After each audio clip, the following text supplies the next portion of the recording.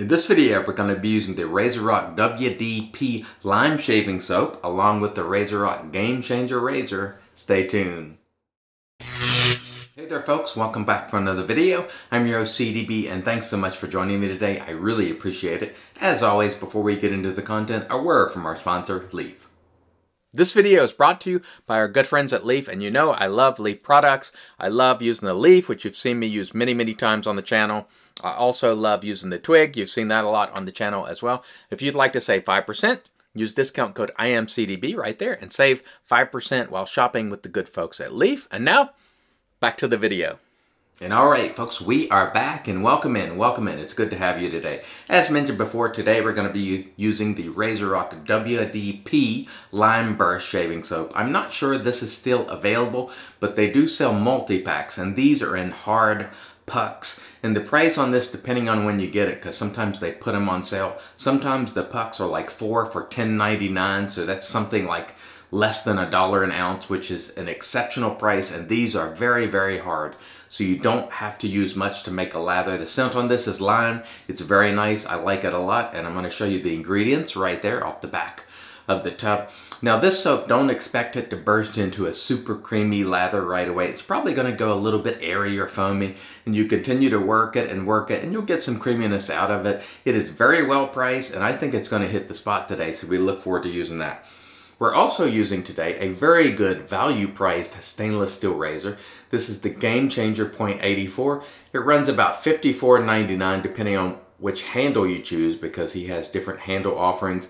It's stainless steel, made in Canada, and a very, very good, nice, smooth razor. I always enjoy using this, so let's get into it today. Oh, and before we get too far along, I want to thank Stuart Bender, and he is our latest Patreon supporter. So thank you so much, Stuart. I really appreciate you. All right, as always, we're going to start by misting the face, and this is just plain water.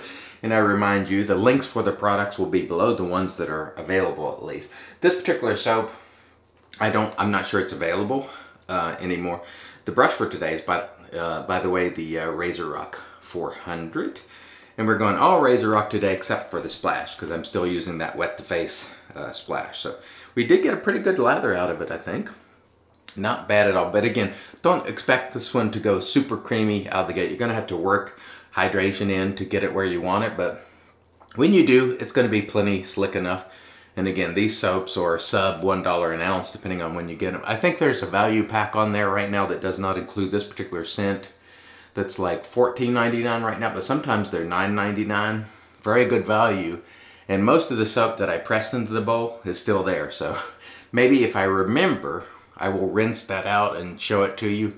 Uh, I'll take a picture of it after I'm finished and, and roll it in because you don't use, you don't have to use much of this soap at all. And again, it's very hard, but I'm telling you, I think it's gonna hit the spot today. RazoRock has always been synonymous with good value as far as I'm concerned.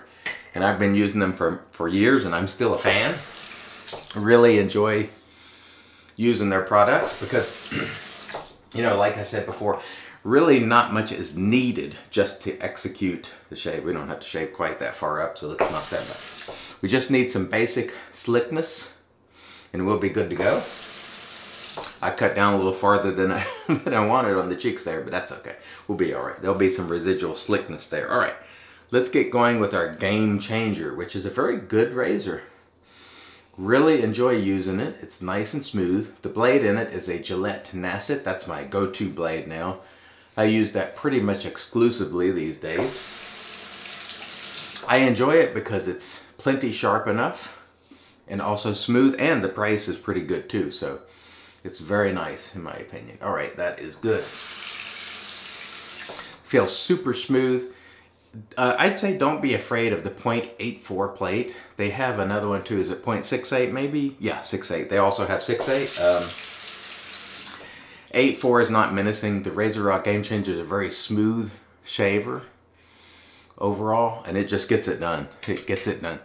And I think some people might shy away from this razor because of the price, but I don't think there's any reason to. And I can remember years ago, I don't know how many years it's been now, Joe from RazoRock was kind enough to send me a prototype of this razor before it came out and I tried it and I really enjoyed it then and now I don't know how many of these have sold but I'm imagine I'm imagining he sold hundreds and hundreds of these because in stainless razors, it's hard to find a better value.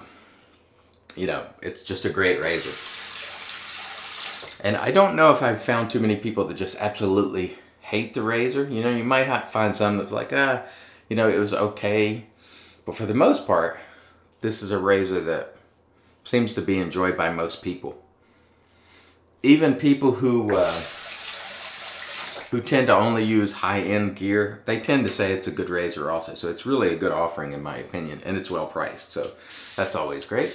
We'll rehydrate here for pass two. And I tell you what, yesterday was a, it was a, an adventurous day because the uh, hot water heater, uh, a hose actually had a little hole in it and it was spraying water everywhere. I had to take my dad for an appointment and it was spraying water all over the place. And uh, I was like, oh no. Because we had to leave at that time, but uh, it was a, it was a, mess. got it fixed, fortunately. And I, I mentioned this in an unboxing video that you'll see later today but I'll go ahead and tell you here too. The first thought in my mind was, I hope they don't shut the water completely off because I got to shave. I got to be able to shave in the morning. Uh, that's how crazy I am about shaving. But that was my first thought is, let's leave the cold water on at least, you know. but anyway, fortunately we got that fixed. And man, I tell you what, running to these appointments, working and all that, it's got me quite busy indeed. Oof. But, you know, again, we're happy to do what we can to try to be a blessing and be helpful. And we're making progress. A lot of folks have been asking about my mother. She's making good progress. She is, uh, you know, she's she's doing well. She's not ready to do any jumping jacks or anything like that, but um, she is making progress, and that's what we hope for. It's a slow process, and so we can't expect, you know, her to be you know, running hurdles overnight, but uh, she is making progress. I'll be honest with you, there was a time there when she was in the hospital uh, at her lowest where I was very afraid. I thought we, I thought we made a mistake. Honestly, I was like, oh, this tr transplant seems like a horrible idea because she was mentally exhausted and physically exhausted, and uh, she was down, like she was down, down, down, and. Uh, I was very afraid and very worried. I didn't express it because, you know, you always just want to express positive. You want to give positive vibes at all times when people need it. But uh, I was worried. And for a time, I thought we made a very bad decision because she seemed far worse off than she did before she went in there for the transplant. I'm super weak, just no motivation. Um, it was it was hard to see, honestly. But after about two days at home, she began to turn around and sort of regain some of her mojo. And then I was like, oh, thank you, Lord. You know, it was, it was, uh, you know, I said a lot of prayers, honestly, because I was extremely concerned, as was my sister. But, you know, we're, we're pulling through it. So, you know, thank you. Thanks to each and every one of you for all the thoughts, prayers, good vibes, whatever you send, whatever you believe in. If it's good, thank you for that. I appreciate it. So there's the update on that and dad, they're going to come and do physical therapy here at the house for the for the knee problem. So hopefully we'll be making some progress on that front as well. But I tell you, when it comes to shaving, we've been just enjoying ourselves and having a great time. So that part has been going right, you know, so I'm, I'm very pleased with that. And, and I got to tell you, today we're using budget gear. The brush is budget. The razor is budget for stainless steel, caveat that. The soap is very much budget and it's gonna it's gonna result unless I mess it up in a perfect shave. So that just goes to prove folks, you know, you can spend very little and get an outstanding top level shave or you can spend a whole lot and get a very good top level shave. It's really up to you. And I always say that, you know, find something within your budget. You can still participate in this hobby um, on a budget you know. And so you just have to be selective about the products you buy. But I can tell you right now, this lather, even though it's probably not the most creamy lather that I've ever made, it is plenty good enough. It is more than adequate, more than adequate. And so it's allowing me to get a very nice, very nice shave. um, same as I do every single day. And I use all types of products and get good results with just about all of them. And what does that tell you? You know, as I always say, it's more about you, the shaver, learning to use your gear, learning to know what your face will tolerate. And it's great because every time I say that, a lot of people are like, yes, it took me about three months to figure out what my face would tolerate. That was a big turning point, and it is. If you're new, keep that in mind. Because for me, it wasn't an overnight sensation. I had to struggle for a few weeks, you know, until I learned you can't do that. So for example, if I make this pass, it is bad for me. That's a no. Skin doesn't like it, so I don't do it. So you have to find out all these things are unique to you. This um, traditional shaving is not a one size fit all thing. So there's no product that's best for everybody. There's no razor that's best for everybody. And anybody that tells you that one single product is best for everybody across the board, walk away. Walk away and talk to someone else. Now, they might say something like I did yesterday, like I feel like the Vector is the best single edge razor ever made. That's just my opinion, you know, based on my use. But it doesn't mean it will be for you, so keep that in mind. You might use it go, eh, it's just okay, you know. But it is great razor, it's an innovative razor. But I never tell you that this is the one, this is the razor that's gonna be the one for everybody. You know, there can only be one.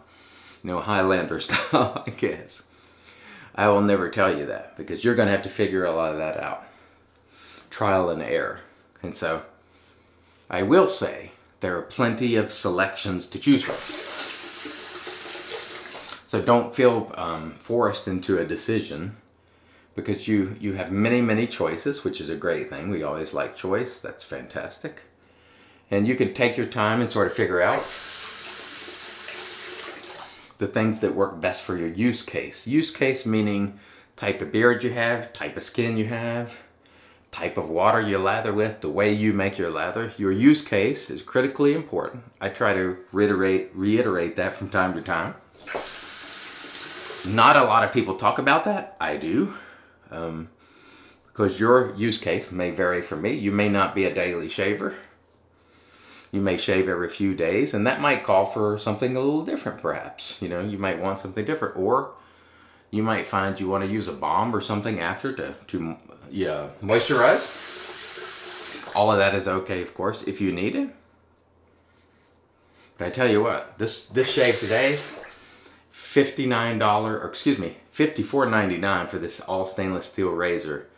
You can't beat it. It's an exceptional It really is an exceptional value. The soap, less than a, far less than a dollar an ounce. Perfect result. The proof is in the pudding, as they say. All right, let me rinse and then we'll come back and get into the post. Stay tuned.